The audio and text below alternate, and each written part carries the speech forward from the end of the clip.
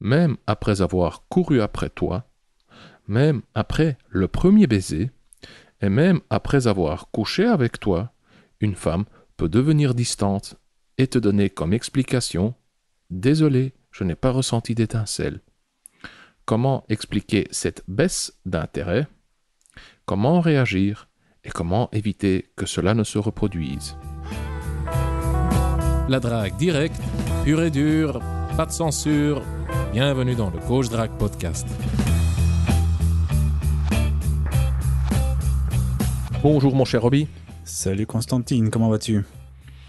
Oh, aujourd'hui, je me sens un peu mou. Il fait hyper chaud ici. Euh, Quoi 35, 37 degrés, je sais plus. Il a fait très chaud aujourd'hui. Euh, et je le sens. Voilà, je, je suis moulant, j'ai les jambes un peu lourdes comme ça. Euh, Mais sinon, ça va. Je suis motivé pour le podcast d'aujourd'hui. Et toi? Même chose, il fait qu'il fait, il fait très chaud. Et voilà, j'ai hâte euh, d'aller pou- pouvoir un peu me rafraîchir après. Mais c'est vrai que là, il- tu sens que la chaleur a un impact sur ton, euh, ton énergie. Euh, Robin, au- aujourd'hui, nous allons parler de l'étincelle. Tu connais la- cette fameuse phrase Ouais, désolé, mais j'ai pas, j'ai pas ressenti d'étincelle. Mhm. En général, dans la plupart des cas, cette phrase, un mec l'entend quand il a raté la fenêtre de tir. Cette phrase, un- le mec l'entend quand il ne s'est rien passé. Le mec rencontre une fille, ah, il arrive à obtenir son numéro, son Facebook, je ne sais quoi. Euh, la fille accepte le rendez-vous, il se retrouve au rendez-vous, et il ne se passe rien. Ils discutent, mais ils ne s'embrassent pas. Il n'y a pas de tension sexuelle. Il n'y a pas, voilà, il y a pas de chimie. Et ah, la fille lui dit Euh, Merci, c'était sympa. Merci pour ce rendez-vous sympa. Et c'est souvent là que, quelques messages plus tard, hein, la fille, puisqu'elle en a marre de que le mec continue à lui courir après, lui envoie Désolé, mais bon, j'ai pas ressenti d'étincelle. Ça, c'est le scénario classique. Mais il se peut aussi que, que tu entendes cette fameuse phrase Désolé, j'ai pas, j'ai pas ressenti d'étincelle après avoir couché avec elle. C'est plus rare car euh, la plupart des rendez-vous, je parle de tous les rendez-vous au monde hein, accumulés, ne se terminent pas euh, à- à l'horizontale. Et donc forcément, euh, c'est- plus rare de l'entendre après avoir couché avec cette fille euh, ou avec une, euh, une, une- une fille. Euh, donc, c'est ce dont nous allons parler aujourd'hui. Comment ça se fait que elle n'a pas ressenti d'étincelle, par- pardon, elle n'a pas ressenti d'étincelle après le bisou, après l'amour? Mais avant ça, Robbie, je vais te lire un petit témoignage et après, je vais te lire le message de, de- de John hein, qui nous parle justement de cette fameuse étincelle absente. Ok. Ok, donc je commence d'abord par le témoignage. Euh, c'est un joli petit témoignage hein, venant de, de John. Il a posté ce témoignage en dessous, en- en- dans les commentaires en dessous de l'épisode 206 intitulé Tu lui plais, mais elle retourne quand même chez son ex. Que faire? Voici le témoignage de John. Allô Consti, je suis John. Le gars qui s'est fait niaiser par la fille de la porte de garage. Haha, j'ai bien aimé ton épisode sur ma question. Donc l'épisode 206, le lien en description. Euh, que faire quand... Oui, donc l'épisode euh, sur ma question, que faire quand elle retourne avec son ex? J'étais vraiment surpris que tu me répondes sur YouTube et à la fois rassuré que tu utilises des faux noms pour camoufler les gars comme moi euh, qui t'écrivent. En plus, que tu m'as dit que tu m'aimais, ce qui est toujours le cas. John, je t'aime encore. Euh, je voulais te dire que j'ai 36 ans et j'ai réussi à fréquenter une chinoise de 23 ans et que pour couronner le tout, je vois une belle femme de 19 ans. C'est n'importe quoi, mais à la fois, j'ai bien écouté tes conseils tout l'hiver et j'ai conclu avec plusieurs filles de 27 ans à 40 ans pendant le confinement. Euh, mais là, avec euh, la fille de 19 ans, et après il rajoute euh, plusieurs smileys, c'est complètement fou. Gros merci pour tes conseils, tu fais du beau travail, je suis québécois du Canada Mille merci. non, pardon. Merci mille fois. Je t'aime aussi, Consti. Merci à toi, John. Quand tu dis je vois une belle femme de 19 ans, euh, j'ai réussi à fréquenter une chinoise de 23 ans. Et pour connaître le tout, je vois une belle femme de 19 ans. On va pas se mentir. T'as pas couché avec, sinon tu l'aurais dit. Hein Quand tu dis je fréquente une femme, une chinoise de 23 ans, on se connaît, on est des mecs, on est bien frimés. Euh, mais malgré ça, euh, merci pour ton témoignage et, et- et je suis content pour toi. J'espère que les femmes euh, se sont bien amusées aussi avec toi. Donc les femmes dont tu parles, euh, j'ai conclu avec plusieurs filles de 27 à 40 ans. J'espère que tu leur as procuré beaucoup de plaisir, de, oui, et d'amour. Voilà. C'est donc un petit témoignage que je voulais parler avec toi, euh, pardon, partager avec toi, Robbie, et avec toi, cher auditeur. Et euh, John, bah, je voulais te rendre encore une fois hommage. Bravo. Johnny, bravo. Yes. Euh, et maintenant, passons à la question. C'est une question de Rick concernant cette fameuse étincelle absente. Mhm. Ok, je te lis le message. Bonjour Consti, j'ai découvert ton blog par hasard. Oui, cher auditeur, j'ai aussi un blog d'ailleurs. Euh, et, je te, et je le trouve très intéressant. J'aimerais savoir ce que tu recommandes comme lecture dans mon cas. J'ai vu plusieurs fois une fille depuis juin. Au début, c'est elle qui était à fond. On s'est embrassé au premier rendez-vous, on a couché au second. Puis, je me suis attaché et je pense avoir commis quelques erreurs dont tu parles justement parce que je tenais beaucoup à elle.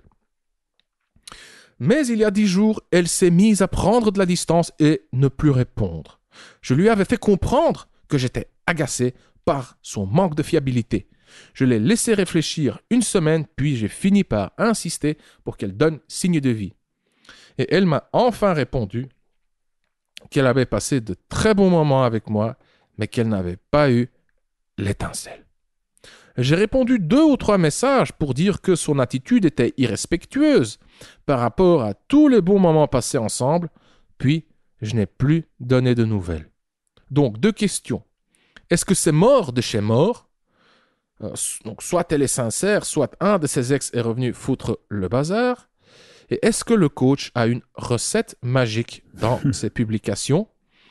Euh, Merci d'avance pour ta réponse, signé Rick. Hmm. Voilà, Robbie. Dans, dans ces Qu'est-ce que tu en penses? est-ce que tu as Ouais. une recette magique dans tes livres de grand-mère? J'en ai une. Ça sera Ouais. pour la fin, pour, la, euh, pour plus tard dans cet épisode. Ok.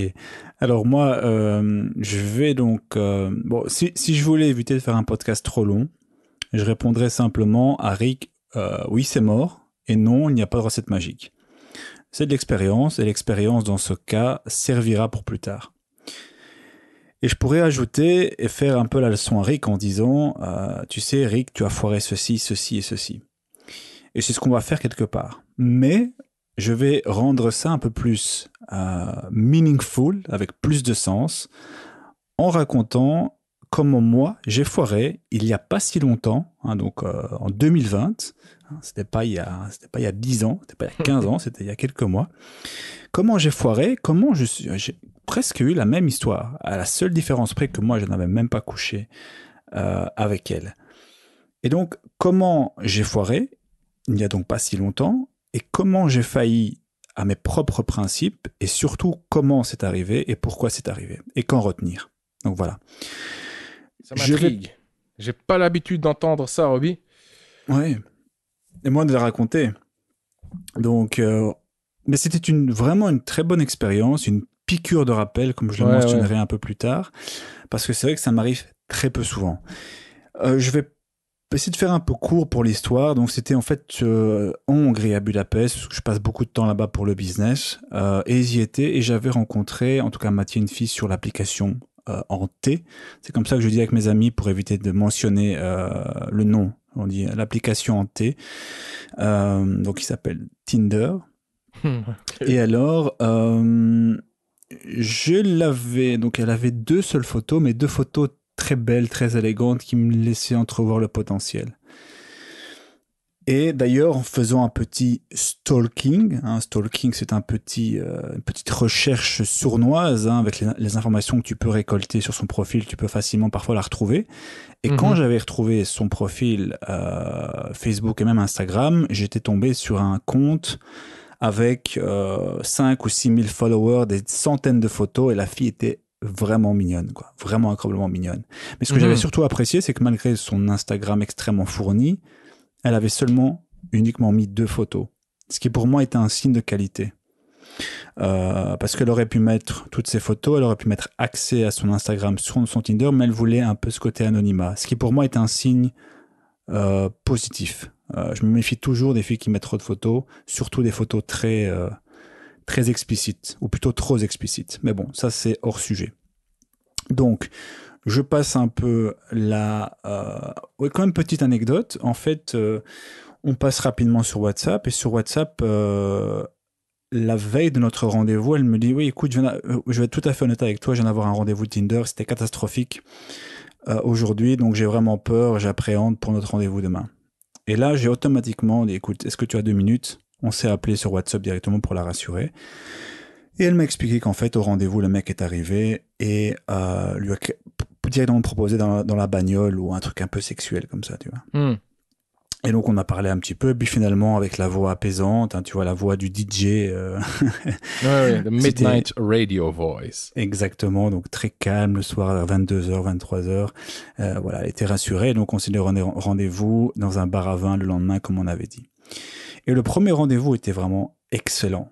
Euh, on va dire du Robbie presque à la perfection. Euh, c'était, j'avais été dans une bonne vibe parce que l'après-midi j'avais eu une très bonne histoire. Ah, c'est un autre sujet, mais allez, je vais me vanter un petit peu. C'était une fille aussi de Tinder. On s'était vu à 14h et j'avais couché avec elle à 17h. Et le rendez-vous était à 21h avec cette, euh, cette fille. Et donc forcément, je te fais pas un dessin, euh, explosion de, de testostérone, d'hormones, bref, toutes les tous les noms y passent, et donc forcément plein d'énergie super en, super en forme et plein d'énergie au rendez-vous. Et ça se passe super bien. Je la vois arriver, elle est magnifique. Euh, une fille de 24 ans dans le monde du journalisme, euh, vraiment très très beau profil. Le rendez-vous se passe, ça dure, il y a vraiment plein de tensions, plein, l'atmosphère est vraiment incroyable. Et d'ailleurs, on arrive au, j'arrive à l'embrasser alors qu'elle m'avait répété plusieurs fois. Et même d'ailleurs que j'avais, j'avais essayé un peu plus tôt au rendez-vous, elle avait refusé. Donc pas par manque d'intérêt, mais ça c'est un autre sujet mais je chantais que c'était par principe. Mais finalement, une heure plus tard, à cause ou grâce à la tension qui s'était accumulée, elle n'a pas pu résister. Et donc c'est devenu un, ouais, c'est devenu un, on s'était embrassé comme des adolescents sur les tabourets, donc c'était vraiment un superbe rendez-vous. D'ailleurs le lendemain matin, alors je prenais mon déjeuner, elle m'a envoyé à quel point elle avait adoré la soirée, à quel point c'était incroyable. Et même si normalement elle n'embrasse pas le premier rendez-vous, ben voilà, les choses se sont faites comme ça. Bref, donc premier rendez-vous exceptionnel. Puis je dois euh, rentrer euh, en Belgique pendant quelques semaines, trois semaines plus ou moins je pense. Et donc pendant ce temps-là, on discute. On discute et je vois clairement que la balance ici est en ma faveur. C'est-à-dire que c'est souvent elle qui relance, qui Hmm. me contacte en premier lieu, Yes. qui cherche à, à créer le rapport. Et c'est très positif. On fait plein de petits jeux. euh, voilà, j'essaye de. Voilà, je suis comme d'habitude. Parfois je réponds, parfois je réponds moins vite. Bref, c'est pas le sujet non plus ici. Il y avait petite anecdote que je mentionne parce que c'est un lien avec le deuxième rendez-vous. C'était aux alentours, et comme je dis il n'y a pas longtemps, c'était en février, puisque ça coïncidait quand on discutait avec la période de la Saint-Valentin. Et on était, moi j'étais à l'étranger encore pour quand c'était le 14 février, et donc je lui ai dit pour rigoler, quand je reviendrai à Budapest, c'était je pense vers la fin février, on pourrait faire un peu une, une Saint-Valentin remasterisée. Et donc je lui disais, mmh. écoute, tu prendras une robe rouge, élégante, avec des talons, moi je viendrai en chemise blanche, bref, j'ai fait un petit jeu de rôle comme ça. Nice. Donc c'était vraiment bien foutu. Euh, on arrive au deuxième rendez-vous et là en fait, bon c'est vrai que moi j'en je, je, parlerai après, mais je fais jamais de restaurant. En tout cas pas avant d'être passé à l'intimité avec la fille. J'en fais jamais, j'en ai quasi jamais fait euh, parce que c'est pas dans mes principes. Je considère que c'est quelque chose que je réserve à quelqu'un qui à qui j'ai plus de voilà plus de avec, avec oui, qui j'ai passé plus de temps. Oui. Ouais. Ouais. Avec qui j'ai passé plus de temps, tout simplement. Et donc, euh, mais bon, je dis c'était un peu une exception, mais néanmoins, comme j'avais, ok, on s'était embrassé la première fois, mais c'était il y a trois semaines. Ici, on était, tu vois, sur une table de restaurant, face to face, c'était pas mal. Mais néanmoins, et euh, je sentais ici, ce rendez-vous était beaucoup moins chargé émotionnellement que le, que le premier. Je le sentais. Mhm. Ça se voyait, ça se ressentait. Dès le départ déjà? Hmm, non, c'était plus, euh, c'était plus vers la fin où on a changé encore de- d'endroit pour essayer de se rapprocher.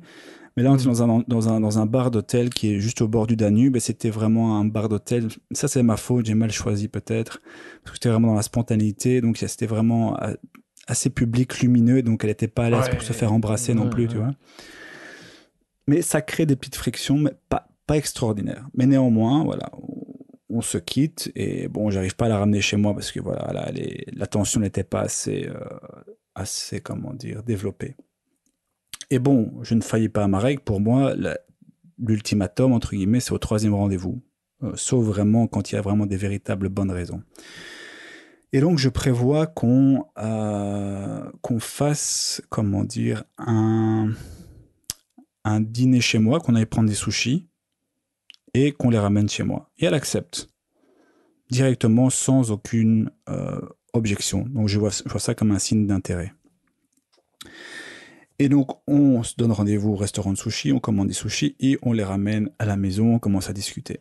Je vois l'heure passer, on a mangé des sushis, on a bu un peu de vin. Et donc, c'est à ce moment-là que j'ai euh, accéléré les choses. Et on a commencé là à rentrer dans une discussion du style euh, oui, mais en fait, ça va un peu rapidement, là, là, là, tu vois. bon.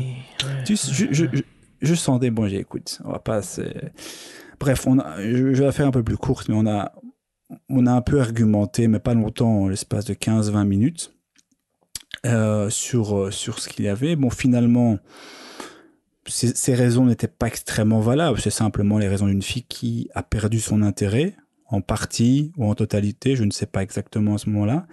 Mais malgré tout, petit sursaut, euh, petit sursaut de, de lors d'un petit massage improvisé, j'arrive à la faire décoller et on est presque à deux doigts de passer à l'acte. Donc c'est vraiment très chaud, très animal, euh, mais finalement ça ne se fait pas.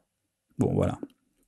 Je la laisse partir. Je dis bon, c'est pas Finalement, grave. ça ne se fait pas parce qu'elle ne veut pas, elle est toujours pas assez Tout à fait, oui, à ça se fait. l'aise. ouais. Tout à fait, tout à fait, oui. Elle, enfin, elle, elle- tu sens vraiment qu'elle est aussi émotionnelle, donc elle s'est laissée, elle, elle avait ce côté aussi animalité, Mhm. mais autour des moments, tu sentais qu'elle reprenait le, elle reprenait conscience entre guillemets en tout cas, Ouais, et, ouais. et qu'elle, ne voulait pas aller jusqu'au bout. Bon, j'ai fait une fois, deux fois, puis j'ai puis c'est bon, je respecte, il y a aucun souci. Elle est partie, et moi j'étais intérieurement, j'étais content. J'ai fait mon boulot, euh, entre guillemets. hein. Ça peut sonner un peu creux, mais voilà, c'est une sorte de. J'aime bien de dire j'ai j'ai fait les choses. J'aime pas avoir de regrets, d'incertitude après. Oui, t'as, t'as essayé, tu t'es exprimé. Voilà, t'as- Hmm? Tu, as fait. essayé, tu t'es exprimé. Voilà. Exact. Et bon, après, je sentais, de nouveau, je l'ai fait en résumé, durant les messages, je sentais clairement que la balance était déséquilibrée. Prenait En ta défaveur. En ma défaveur, bien sûr, en ma défaveur. Je le sentais, voilà. Tu sentais qu'elle répond moins, qu'elle, euh, ses, ses- ses- ses messages sont plus espacés, ou même parfois elle le lit et puis elle répond très longtemps après. Mhm. Euh, bon, tu, tu le sens. Je veux dire, on a fait plein de podcasts, plein de podcasts, pardon, là-dessus. Il y a toute une série de signes d'intérêt. D'ailleurs, j'en parlerai un peu plus tard, qui euh, de signes plutôt, pas d'intérêt, de signes tout court, qui montrent, qui démontrent que son niveau à elle, son niveau d'intérêt à elle, a diminué. Mhm. Et donc, je fais encore une fois un petit raccourci. Euh, finalement, et je sentais qu'elle hésitait un petit peu à le lire, à mettre les pieds dans le plat. Elle fait comme, elle me fait une ric, on va l'appeler comme ça. Elle me fait une ric, C'est quoi une ric une ric euh, Ouais, pardon. en, en- en hommage à, à la question. Puisqu'elle m'envoie quelque chose du style, écoute, franchement, on a passé de très bonnes soirées, etc., etc., mais j'aurais vraiment voulu que ça marche, j'aurais vraiment voulu qu'il y ait d'étincelles, mais elle n'était pas là. Donc voilà. Ah oui, d'accord, maintenant. Ça y est, je suis con, oui, oui. une ric. Rick, oui, ok, waouh. Oh, euh, oui. Et pourtant, j'ai rien fumé, hein, je suis sobre. hein. Mais Voilà, souvent, avec mes jeux de mots, souvent avec mes jeux de mots, t'as du mal, j'ai remarqué. Ouais. Ah oui, Robert, je suis un peu bébête, moi, un peu Euh. bébête. Hein. ouais, désolé, désolé. Voilà, j'ai capté. Waouh, Ouais. Ouais. Mais mieux donc, vaut tard que jamais. M- Mais donc, ce qui était bien avec ce, ce message, c'est que pour moi, il a sonné le glas. C'est-à-dire que c'était, je savais ce que ça signifiait. Et d'ailleurs, quelque part, je donne la réponse aussi ici à Rick. Oui, c'est mort, et non, il n'y a pas de recette magique. Voilà. Je le savais à ce moment-là, d'ailleurs, j'en étais très content. Je le sentais avant, mais quelque part, à cause de certaines hésitations, oui, mais elle m'a dit ça, elle m'a dit ça, donc peut-être que, mais intérieurement, comme on répète souvent, quand une fille est intéressée, tu vas le savoir. Rien de mystique. Quand tu commences à te poser trop de questions sur son comportement, c'est généralement qu'il y a un problème derrière. Et ce problème, Ouais. c'est un manque d'intérêt. Ouais. Mais ici, donc, je vais passer en revue les erreurs, ce qui s'est passé, ce que je n'ai pas bien fait, et alors euh, les leçons à en tirer. Mais une chose positive, malgré tout, c'est déjà la première, je passais déjà un peu la conclusion, mais pour un point particulier, c'est que tout ceci s'est passé de manière assez- sur une période de temps assez courte. Donc, c'était début février, puis on, on a eu ce premier rendez-vous, puis je suis rentré en Belgique. Bon, on a échangé principalement des messages, et puis on a eu deux rendez-vous en Hongrie euh, fin février, et puis hop, c'était euh, l'histoire de l'étincelle. Donc, en tout et pour tout, ça a duré un, mois, un mois, une semaine. Mais ce que j'ai bien aimé aussi, c'est que malgré tout ça, je n'ai pas failli à une chose, c'est-à-dire à mon script, à savoir de faire avancer les choses. Euh, voilà, au troisième rendez-vous maximum, je l'ai amené chez moi, j'ai essayé, ça n'a pas fonctionné. Donc, j'ai quand même, à ce niveau-là, j'ai gagné beaucoup de temps. Parce qu'il y a des mecs qui, avant d'arriver à cette malheureuse conclusion de l'étincelle, passent beaucoup plus de temps, d'énergie et parfois aussi d'argent. Donc, ça, j'aime bien parce que finalement, ok, ça s'est pas bien passé, mais ça s'est passé dans un laps de temps relativement court. Première chose. Euh, maintenant, quelles, ont été mes erreurs et à quel principe, au- auquel de mes principes j'ai failli? Donc, déjà, euh, si je dois être objectif avec moi, euh, lors de, entre le premier rendez-vous et le deuxième, où il y a deux trois semaines qui sont passées, nos, es- nos échanges étaient déjà un peu trop sérieux à mon goût. C'est-à-dire que au niveau de la charge émotionnelle, au niveau de l'investissement que je mettais dans les messages, c'était un peu trop, un peu trop parfait, un peu trop rapide. Dire, il faut se rappeler qu'on a eu un seul rendez-vous, il y a eu un baiser, c'est tout. Hmm. Et donc, il y avait une, peut-être hein, ce côté toujours idéalisé qui était là présent et qui, ah, peut-être cette fille est différente, donc allons-y différemment. Mhm, mhm. Et moi, je dis souvent qu'il vaut mieux être celui qui ne suit pas l'autre. Donc, je m'explique. Il vaut toujours mieux qu'elle ait un goût de trop peu qui, Que de trop. que de trop donner rapidement, même si elle pense que c'est ce dont elle a besoin. Choisir entre lui donner ce qu'elle semble vouloir, parce qu'elle te relance souvent, elle t'envoie des messages tous les jours, etc., tu serais tenté de tomber entre guillemets dans le piège. Mais moi, je dis, vaut mieux euh, donner trop peu que trop lui donner rapidement. Voilà, ça c'est la première chose. Et je pense, même certainement, que j'ai failli à trop à, n'y voir que du feu, me dire voilà, je ne dois pas respecter mes différentes euh, règles habituelles de, de proportion d'investissement. Bon après c'est pas mécanique comme cela, bien sûr. hein, c'est on peut se laisser aller, il n'y a pas de souci, mais Mhm. quand même sur l'espace de trois semaines, il y avait trop de, il y avait déjà trop d'investissement, il y avait trop, ça allait trop vite, on allait trop plus vite que la musique. Mhm. Donc première euh, première chose. Euh, L'autre règle à laquelle j'ai failli, bah bon ça c'est plus anecdotique, c'est celle du restaurant. Bon même si je regarde pas les restaurants, le restaurant c'était très très chouette, c'était à Budapest, près du Danube, ça m'a rien coûté, deux plats, une bouteille de vin, c'était 40 euros. Bon voilà, c'est donné quoi. Mais c'est pour le principe. Je fais jamais de resto avant d'avoir euh, d'avoir euh, eu de l'intimité et surtout avec une fille avec qui je suis déjà un peu en relation établie. Euh, je fais jamais de restaurant comme date euh, au sens première date, deuxième date avant même l'intimité. Parce que déjà, je trouve que si tu fais ça à chaque fois, ça va commencer à devenir cher. Et en plus, je trouve simplement que c'est pas les meilleures conditions pour instaurer de la, de la tension. euh, Non, sexuelle tout. l'intimité. C'est- parfois froid, c'est t'es distant, il y a beaucoup de lumière dans les restaurants. Ah, non. Mais bon, voilà. Ça, c'est mon autre règle, règle à laquelle j'ai failli, mais voilà, that's it. L'expérience était chouette, mais c'était pas efficace. C'est pas là que j'ai pu créer les mêmes circonstances de la première date. La première date, c'était un bar à vin, lumière feutrée, haut tabouret. Euh, c'était complètement différent comme atmosphère. Mais bon, bref. Euh, donc ça, c'est les deux principales règles euh, au- auxquelles j'ai failli. Et, donc pour revenir à notre, question à, Rick, c'est que quand tu sens... euh, attends, je vais essayer d'abord de, restructurer avant de, peut-être arriver aux conclusions. C'est... Attends, je suis... À ce point-là. Voilà. Donc ce, que- je voulais dire ici, c'est pour Rick, et pour moi d'ailleurs aussi, c'est ce que j'ai fait, mais peut-être un peu trop tard. C'est quand tu sens que son comportement commence à changer, que euh, son intérêt est différent, qu'elle met plus de temps à répondre, qu'elle ne te relance plus euh, en premier, etc. C'est un peu là qu'il faut se réveiller et tenter de rééquilibrer la balance, pour peu que ça ne soit pas déjà trop tard. Par exemple, mettre de la distance dans tes réponses, dans le tempo, dans l'investissement, euh, dans, la, dans, dans, dans la charge de l'investissement, si c'est compréhensible, c'est-à-dire La charge émotionnelle, le ton. oui, hein. le ton, la charge émotionnelle, le, euh, ne- tu, tu, tu sens que tu voilà, quelqu'un, elle est en train de faire un pas en arrière, tu vas pas faire un nouveau pas en avant. Donc ça c'est la première chose. Autre exemple que j'aurais pu faire ou que Rick aurait pu faire, c'est par exemple refuser un rendez-vous ou alors mettre un rendez-vous puis l'annuler.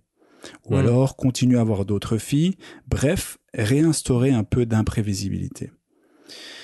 Mais quand je vois mon histoire, et peut-être que Rick ça s'est passé aussi comme ça, euh, malgré que lui ait accouché avec elle, mais bon, c'est pas indissociable. Au contraire, peut-être qu'il a su amener, certainement d'ailleurs, sinon il ne serait pas arrivé. Au premier, deuxième, troisième rendez-vous, il a su amener les choses correctement. D'ailleurs, c'est pour ça qu'il a réussi à coucher avec elle.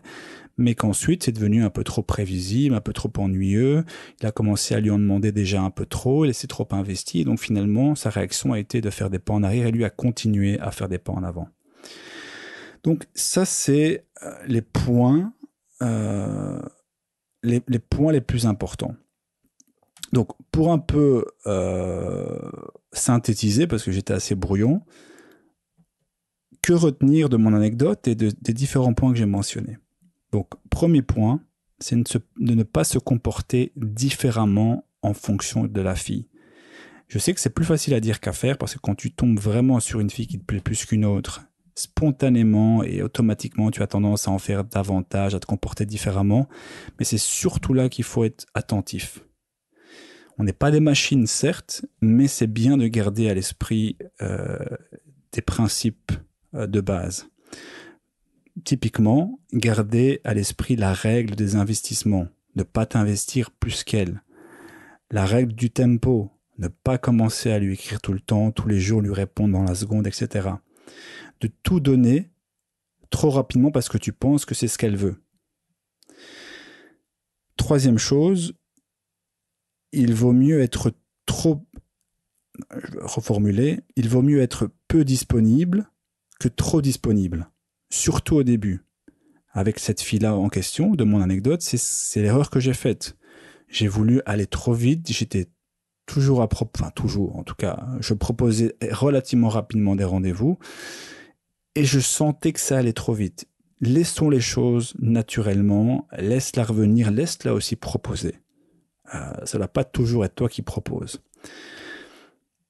Quatrième point, quand tu sens que tu perds pied dans l'interaction, que tu observes un changement chez elle, rééquilibre la balance. Donc en tout cas, essaye sois-en conscient et essaye de rééquilibrer cette balance. Va voir d'autres filles, euh, fais d'autres choses, euh, fixe un rendez-vous avec elle, puis annule-la pour voir si elle annule si elle revient vers toi. Bref, essaye de rééquilibrer la balance et évite coupe court à toute forme d'investissement excessif et euh, reprend, en tout cas refait un pas en arrière. Et enfin, et c'est ce que j'ai bien fait dans cette euh, histoire, une des seules choses avec le premier rendez-vous d'ailleurs, c'est lâcher prise. Voilà. D'ailleurs, c'est ce que j'ai noté dans mes notes, je le redis, c'est ce que j'ai fait de mieux avec mon premier rendez-vous. Euh, j'ai lâché prise quand j'ai senti que ce n'était plus récupérable. Je, je, savais la réponse, je savais quelle réponse elle allait me donner. Quand j'ai vu son message de l'étincelle, je savais qu'il allait arriver. Je savais que ça allait arriver à un moment donné. Et quelque part, ça a simplement euh, officialisé ce que j'avais ressenti. Et donc, pour te répondre, oui, c'est mort, et non, pour moi, pas de solution magique.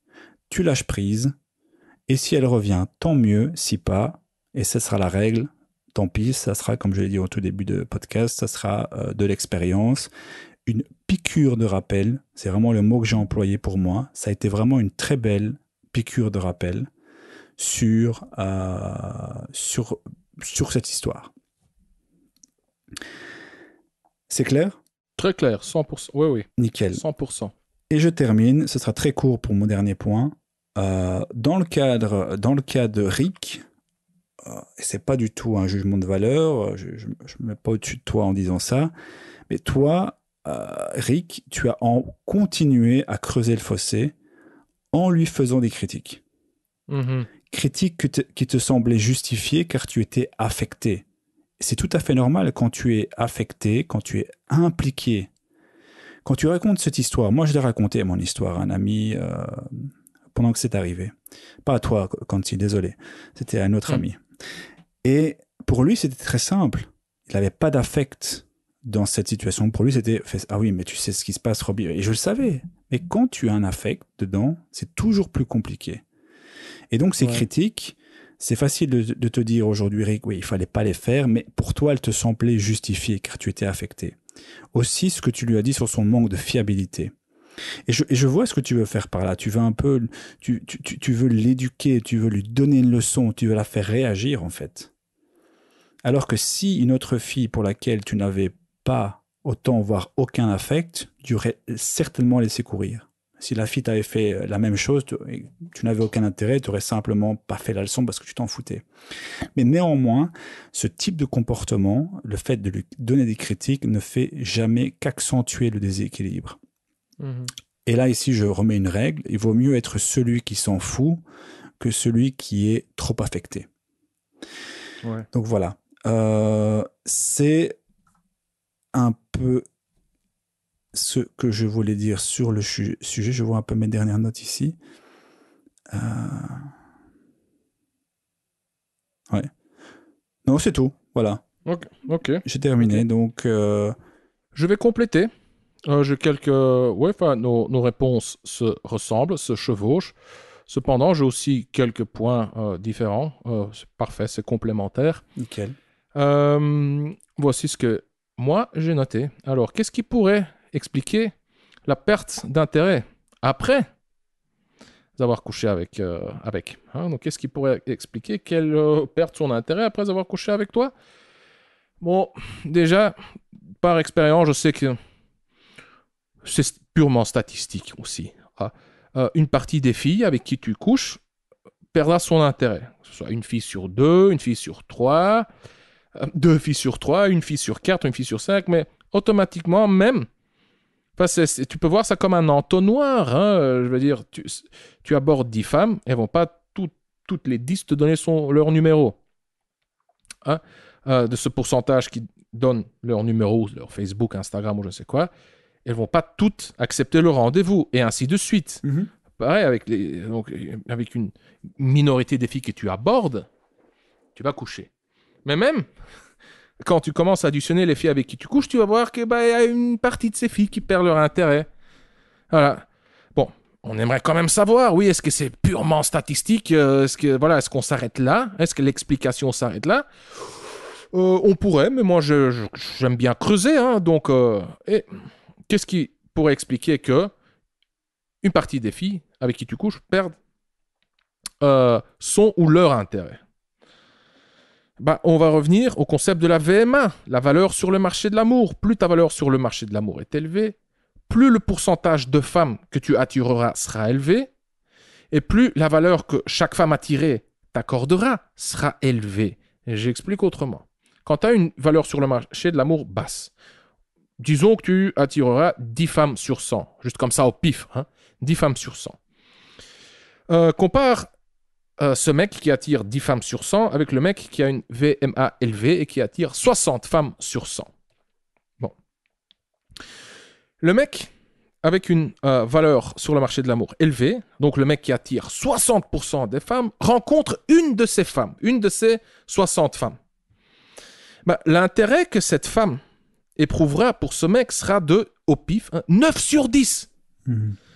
Tandis que si tu as une valeur sur le marché de l'amour, euh, valeur sur le marché de l'amour faible, hein, donc le mec qui attire n'attire que 10 femmes sur 10, bah, il rencontre une de ces 10 femmes, bah, l'intérêt que cette femme, une de ces 10 femmes, aura pour lui ne sera que peut-être de 6 sur 10.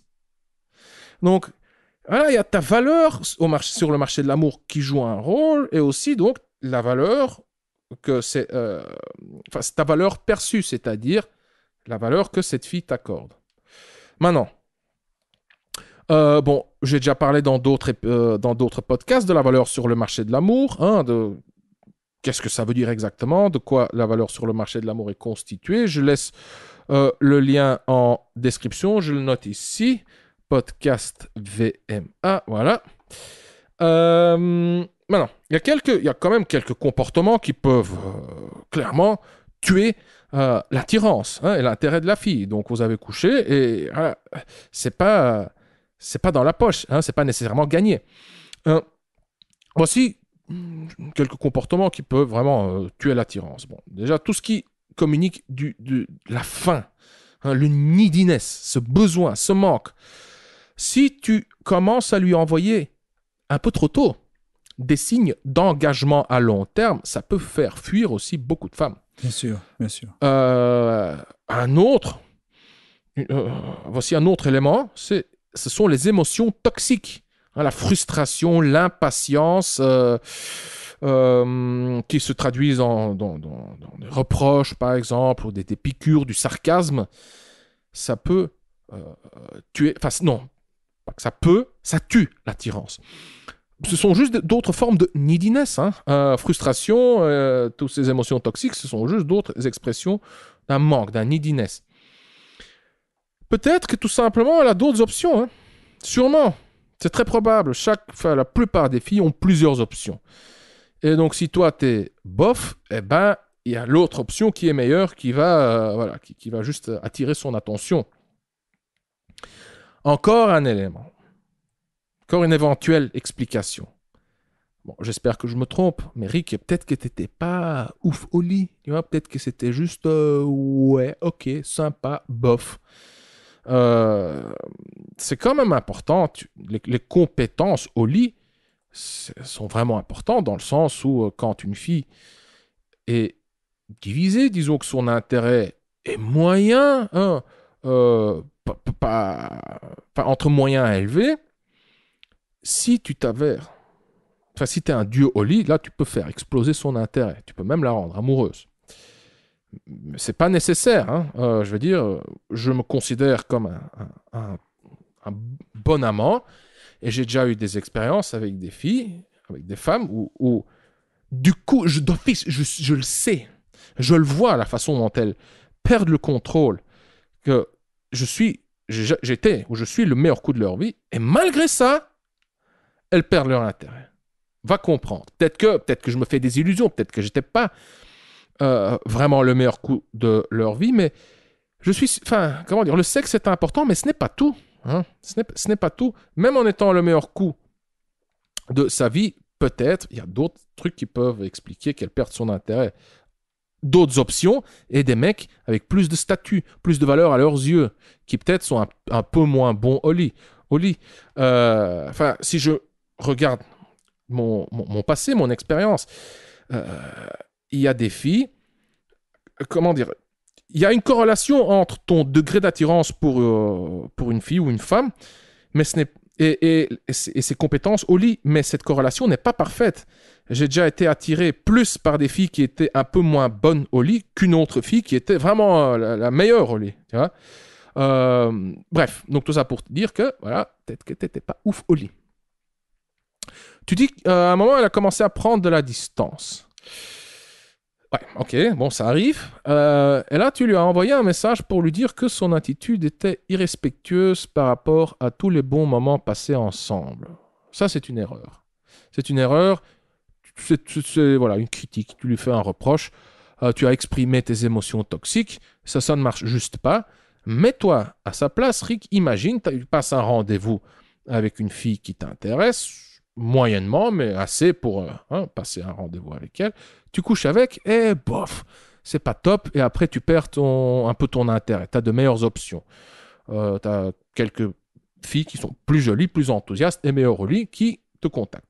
Et maintenant, cette fille commence à t'envoyer des messages pour euh, te dire que voilà, Rick, euh, ton attitude est irrespectueuse hein, par rapport à tous les bons moments passés ensemble. Ouais. Comment te sentirais-tu? Est-ce que du coup tu vas bander et te dire Oh, putain, elle a raison. hein. Oh là, je suis excité, là, j'ai envie de la voir. hein. Oh, elle me fait. elle- elle- sa, critique hein, est justifiée. Elle a tout à fait raison, maintenant je la désire. Bien sûr que non, c'est pas comme ça que ça marche. Donc, tu as commis une erreur ici. Quel était ton objectif avec ces reproches? Tu voulais obtenir quoi en lui faisant comprendre que que, que, que tu avais raison et qu'elle avait tort Qu'est-ce que tu voulais qu'elle change d'avis? Robbie l'a dit, hein, tu, tu voulais sûrement, je sais pas moi, provoquer une réaction. Euh, mais ça communique juste de la faiblesse, du désespoir. hein. Ton vrai motif avec ces critiques, c'est de rétablir le déséquilibre, euh, c'est de, rétablir le, le- déséquilibre suite au rejet. Tu as Bobo à l'ego. Dans ton petit groupe de deux personnes, donc toi et cette fille, ton statut a fortement diminué. Hein, elle est au-dessus, toi en dessous. Et il y a ton cerveau qui crie Aïe, aïe, aïe, aïe, aïe, Bobo, hein, euh, faut qu'on sauve notre statut ici. Faut qu'on re- faut, qu'on remonte sur l'échelle. Euh, faut qu'elle me. euh, comment dire Je dois rétablir la balance. Mhm. Voilà. Mais le problème avec cette démarche hein, de lui faire des reproches, c'est que tu fais une attribution externe. C'est-à-dire, tu la pointes du doigt. La faute se situe à l'extérieur, à l'extérieur de toi. Ouais, mais c'est quoi cette attitude irrespectueuse vis-à-vis de nos, euh, de nos de chouettes moments qu'on a vécu? Tu as tort, j'ai raison, ça ne se fait pas. euh, voilà. Bah, avec cette attribution externe, donc quand tu attribues la cause à des facteurs externes, bah, ce n'est pas toi. hein, c'est pas toi. Tu n'y peux rien. Tu subis, en quelque sorte, tu es une victime de son comportement. Et souvent, ça s'accompagne d'un. Comment dire Avec cette attitude, tu ne t'interroges pas, tu ne te demandes pas. euh, Et ça se voit même dans ton message. hein. Tu me demandes est-ce que c'est mort de chez mort? Est-ce que le coach a une recette magique dans ses publications? Tu ne me demandes pas, est-ce que tu peux analyser mon comportement? Est-ce que tu peux me dire comment j'aurais mieux pu agir? Si tu ne me demandes pas ça. Donc, tu ne t'interroges pas vraiment. hein, et quand tu ne t'interroges pas, tu n'apprends pas. Une meilleure attitude, c'est de faire un zoom out hein, d'observer la situation de haut, de la troisième personne. Tu fais un zoom out, tu regardes l'échiquier et tu commences à analyser. J'ai fait ceci, elle a réagi comme ça. Et ainsi de suite. Hein, donc tu, tu, tu fais un zoom out et tu cherches des liens, tu cherches des, des relations, tu cherches des causes et des effets. Et ça, sans juger, sans pointer du doigt, sans dire ça c'est bien, ça c'est mal, tu as tort, pourquoi tu as réagi comme ça, ça, ça, ça sert à rien. Et quand tu analyses la situation, tu dois tenir compte des émotions aussi. C'est aussi un élément, enfin c'est critique, les émotions. Hein, donc elle a dit ceci, je me suis senti comme ça. Quand je me suis senti comme ça, j'ai dit ceci ou j'ai fait cela. Quand j'ai dit ceci ou j'ai fait cela, elle a réagi comme ci ou comme ça. Quand elle a réagi comme ci ou comme ça, qu'est-ce qu'elle a ressenti à ce moment? Hein, Donc tu essaies vraiment de chercher des liens entre tes comportements et tes émotions, et ses comportements, elle, et ses émotions. Voilà. Donc tu dois tenir compte des émotions quand tu analyses le tout. Euh, quand tu observes, maintenant, moi, quand je regarde juste ton email, bah, tes émotions toxiques, ils, ils, ils sont pour quelque chose. Hein. Pourquoi ça a foiré? Ok, je suppose que euh, comment dire, j'ai formulé plusieurs hypothèses, mais tes émotions toxiques, ils sont pour quelque chose. Si maintenant tu étais plus détaché, si tu étais moins affecté, euh, ou si tu, en étant dingue d'elle, si tu avais réussi à te maîtriser, Mhm, à, à la faire patienter un petit peu, et pour le reste, à dégager que des émotions positives, peut-être que, qui sait, peut-être que, voilà, ça ne serait pas passé de la même façon. Maintenant, euh, qu'est-ce que j'ai noté ici encore? Euh, Pas d'étincelle. Euh, je ne sais plus pourquoi j'ai mis ça. Donc, elle- ah oui, comment ça se fait qu'elle n'a pas ressenti d'étincelle? Voilà. Donc il y a une nuance. Elle a commencé à prendre de la distance. Et ici, je, je, je pars de la partie pas d'étincelle. Donc, c'est même possible hein, que, ici je reviens au sexe, que euh, au lit, tu vois, vous avez. Ouais, vous, pendant que vous, vous étiez en train de coucher, de faire l'amour, qu'elle a eu ce feeling et ce- cette pensée que. Ouais, bof. Euh, ouais, c'est sympa, c'est sympa, mais pas tant que ça. Hein, donc, imagine déjà le rendez-vous. Tu as des rendez-vous où il y a de la tension sexuelle, il y a des étincelles, des feux d'artifice. Et tu as des rendez-vous où ces émotions sont absentes. Pareil, juste pour, si on fait un zoom in, pareil pour le baiser, tu peux, il y a des rendez-vous qui se terminent avec un baiser, mais certains de ces baisers sont juste plats. Il n'y a pas d'émotion, il n'y a pas de. C'est juste ouais, deux lèvres un peu humides qui se touchent et puis. Ah, tu sens que. Ah mince, il y a. Y a ouais, il n'y avait pas de feeling. Mais ça- pareil au lit, hein, ça peut. Ah, Robbie, je suis certain, tu as déjà eu, ça de nombreuses reprises. Moi, je, je sens aussi que voilà, tu couches avec une fille et c'est juste. Fade, quoi. Ouais, Fade. bien sûr, bien sûr. Et- mais si tu lui procures le meilleur sexe au monde, bah, encore une fois, tu as plus de chances qu'elle tombe accro de toi, hein, que- que- que- que- qu'elle ressente cette étincelle. Et le meilleur sexe au monde, c'est, avant tout une question émotionnelle. hein, c'est de. Ah, je sais pas comment l'expliquer, car c'est difficile à expliquer. Il s'agit d'un truc intangible, de- des émotions. Hein. euh, Et voilà, les émotions, c'est, c'est plus difficile à expliquer. On a- donc, donc ouais, moi j'appelle ça le Tetris émotionnel quand tu sens que tes émotions, ces émotions, elles s'emboîtent. Vous êtes dans le même rythme, il y a une confiance. Vous dansez au sens figuré au même rythme que quand, quand tu la touches, quand, quand vous cambrez ensemble, quand vous, faites l'amour. Quoi. Tu sens vraiment euh, que, que il y a cet échange émotionnel. Il y a ton ventre qui s'ouvre, son ventre, au sens figuré de nouveau, qui s'ouvre. Il y a c'est- ce courant d'énergie qui passe, cette affection, cette tendresse, cet amour, ce désir, enfin, ces vagues de chaleur. Euh, euh, et puis, voilà, bon, ça peut être doux et tendre, ou ça peut être vraiment animal et trash, mais vous, vous avez, enfin, ce- je, dirais que ce Tetris émotionnel, où, vos émotions s'emboîtent, où il y a cet échange émotionnel, bah c'est voilà, c'est ce qui fait la différence. Quand t'as pas ça, c'est juste un peu euh, ouais fade, mécanique et et, ouais, à un moment, voilà, c'est juste parce que t'as un peu de tension hein, sur la bite que tu gicles et puis ouais, c'est voilà, bof. Et puis et puis même euh, après une après une telle expérience, donc un sexe euh, une partie de jambe en l'air assez fade, ouais, les femmes vont se dire euh, souvent se disent la même chose genre ouais, bon euh, ouais, c'était c'était OK, c'était sympa mais pour moi euh, voilà. C'est OK comme ça, on- en reste là. Voilà. Donc, pour répondre à tes deux questions, est-ce que c'est mort de chez mort? Je suis, je partage, euh, je suis du même avis que Robbie, je le partage à 100%. Oui, c'est mort de chez mort. Point. Est-ce que le coach a une recette magique dans ses publications? Ben oui, j'ai euh, une recette magique. L'analyse, l'introspection, l'expérience et l'étude. Donc, euh, désolé. Euh, désolé Rick, mais au sens littéral, une euh, donc est-ce que j'ai une recette magique pour retourner la situation rapidement comme ça? Non, non, non. Donc ici c'était un petit clin d'œil, hein, un peu. Voilà, j'ai juste changé le sens du mot recette magique, mais si on le prend au sens littéral, euh, je- bah, tout comme tu l'as dit, Robbie, non, juste il n'y en a pas. Euh, la recette pour mener une vie amoureuse, affective et sexuelle, et sexuelle épanouie, c'est euh, nouveau, c'est voilà, c'est en fait c'est l'étude, l'expérience, la curiosité. Euh, par étude, ça veut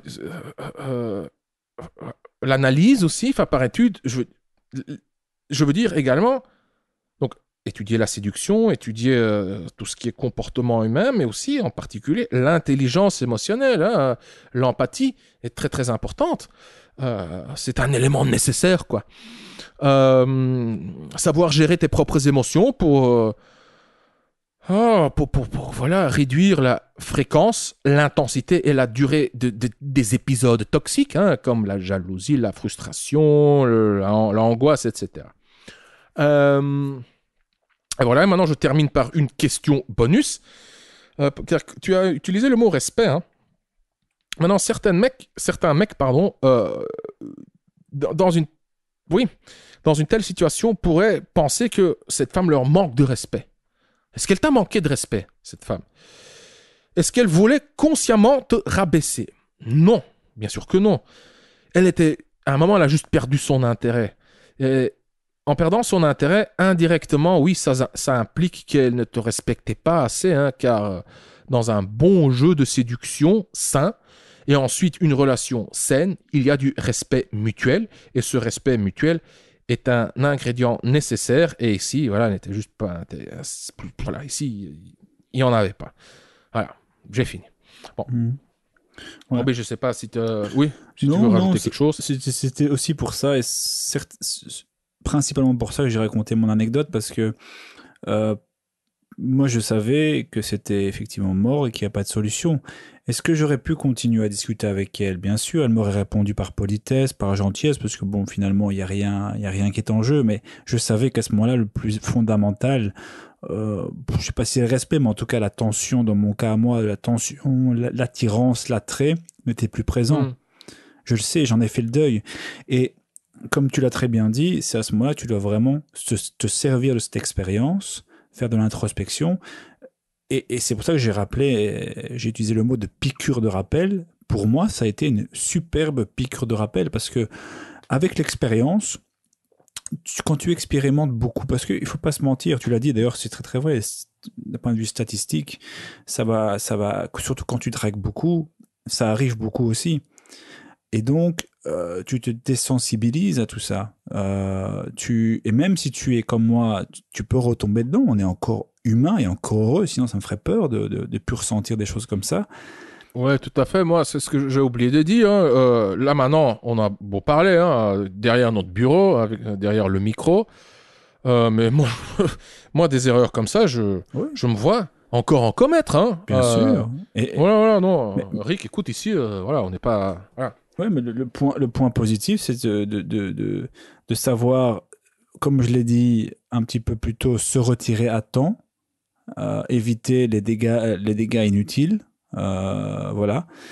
Et aussi dans, comment dire, dans, tirer les enseignements. Et, moi, personnellement, quelque part, aujourd'hui, j'ai adoré cette expérience parce que ça m'a vraiment rappelé certaines choses, ça m'a fait une piqûre de rappel. Et aujourd'hui, aujourd'hui, je, très honnêtement, euh, après une semaine, une semaine et demie, deux semaines, c'était parti parce que de nouveau, et là, là on tombe sur un autre sujet, je rentrais pas dedans, mais forcément, tu as d'autres dossiers, tu vois d'autres filles, tu penses à autre chose, et puis hop, c'est facile. Euh, Donc, c'est vraiment un bon exercice parce que tu vas être confronté à ça, euh, surtout si tu dragues beaucoup, souvent dans ta vie. Donc, autant t'y habituer, autant euh, autant t'y habituer simplement. Effectivement, et cette dernière partie, je m'arr- je m'arrêterai là. De frustration, je la comprends aussi, je la comprends aussi, mais tu l'as très bien dit, Consti, ça ne sert strictement à rien. Et là-dessus, utiliser la technique de la décantation. Voilà, c'est-à-dire, Ouais, ouais, euh. Tu, tu as un message frustré, tu l'écris, tu l'envoies pas, tu le relis le lendemain à tête reposée. Ah, ah, non, c'est pas un bon message, ok, tu l'effaces, tu l'envoies pas. Et, Mm. et- et franchement, parce que si il y a, et c'est la seule solution miracle, hein, qui n'est pas une solution miracle ou une recette magique, s'il y a une seule possibilité pour que ça refonctionne, c'est qu'elle revienne vers toi. Mais Ouais. là, il n'y a pas de recette magique. Ça peut arriver comme ça ne peut pas arriver. Et la règle, c'est que ça n'arrive pas. L'exception, Mhm. c'est que ça arrive. Voilà, c'est la seule Ouais, recette magique. ça. Ouais, ici, tu ne peux rien faire d'actif, d'actif hein, tu Ouais. peux rien faire activement pour euh, retourner la situation en ta faveur. Tu ne feras que euh, amplifier le déséquilibre déjà existant. Yes. Euh, good. Écoute, ouais, j'aimerais reparler, Robbie, rementionner ton, ton livre, euh, La séduire ou l'oublier, que tu as écrit. Euh, ça fait un petit temps que je n'en ai plus parlé, hein. donc il y a quelques temps, il y a quelques mois. Euh, nous avons mis sur le marché, nous avons lancé un petit livre intitulé La séduire ou l'oublier, qui parle de. euh, qui, qui se, que tu as écrit pour les mecs ayant de l'intérêt pour une femme en particulier et qui ne savent pas quoi faire, qui se demandent cette femme me plaît et j'ai l'impression de faire du surplace. Qu'est-ce que je fais? Maintenant Mhm. Séduire ou l'oubli- ou- ou l'oublier répond à cette question. Je suis intéressé par une femme, quelle est l'étape suivante? Et je vais déjà te dévoiler, cher auditeur, l'étape suivante. C'est de connaître son vrai niveau d'intérêt et si celui-ci est suffisamment élevé, de le transformer en rendez-vous intime. Ça sont les deux étapes logiques Euh, et les plus efficaces d'ailleurs. Dans la séduire ou l'oublier, tu comprendras, enfin tu apprendras exactement comment faire. Donc comment découvrir son vrai niveau d'intérêt et comment le transformer en rendez-vous intime. Et tout ça formulé, enfin c'est c'est construit d'une façon élégante qui euh, minimise euh, le risque du rejet. Tu trouveras le lien en description. Euh, et le grand avantage, enfin il y a plusieurs avantages de la séduire ou l'oublier, c'est que ça coûte trois fois rien. Enfin trois fois rien, ça coûte euh, quoi Je pense 7 euros ou 9 euros. 7 euros, donc trois fois rien. 7, ouais. Voilà, trois fois rien. Euh, 7 euros. Il existe en deux formats que tu, reçois, euh, que tu recevras euh, enfin, d'office. hein. donc, quand tu télécharges la séduire ou l'oublier, tu recevras les deux formats étant un PDF et l'audiobook, hein, la version audio. Et euh, il te suffit juste d'une heure pour, euh, pour le, lire ou l'écouter. Et donc, d'ici une heure, hein, si maintenant tu as des intérêts, enfin tu es intéressé pour une femme en particulier, tu, tu hésites, tu dis mais est-ce que je, que je lui plais ou pas? Et, qu'est-ce que je fais maintenant? Voilà, dans, une heure, bah, tu auras déjà une réponse, tu, tu seras déjà plus loin dans le processus de séduction. Euh, donc si tu es intéressé, cher auditeur, par la séduire ou l'oublier, euh, clique sur le lien se trouvant dans la description. Et encore un truc, enfin, un, petit argument supplémentaire, tu reçois une garantie satisfait remboursée de 60 jours, comme avec tous les autres produits hein, de, de Coach Rag d'ailleurs. euh, il y a toujours une garantie de 60, euh, satisfait remboursée de 60 jours. Donc 7 euros, euh, deux, deux, deux formats et une réponse claire à ta question qui est qu'est-ce que je fais maintenant? Et ah, donc, est-ce qu'elle est suffisamment intéressée? Et si oui, comment est-ce que euh, je peux transformer ça en rendez-vous intime Exact. Voilà. Je te remercie, Robbie. Je te remercie, Rick. Merci à tout le monde. hein. Et merci à toi, cher auditeur. Et euh, dans le prochain épisode, nous allons parler de... euh, Mince, j'ai oublié. Je vais devoir revérifier mes notes, mais je vais le faire après ce podcast. Robbie, bye bye, À bientôt. cher auditeur. Bye à très vite. Merci. Bye.